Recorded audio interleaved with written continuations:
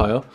And that's the mess I've caused. A lot of mess. Uh, uh, so much mess, it's crazy. But yeah, it happens. What can you do? Um, but yeah, the temperature's around 48-ish. Not too bad.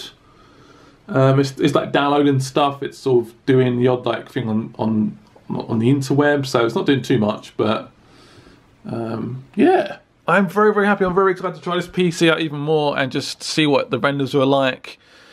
See what the new DDR4 RAM is like as well, and just have fun with it. So this is with the door on, by the way. I've got to record it with the door on, and let's boot it up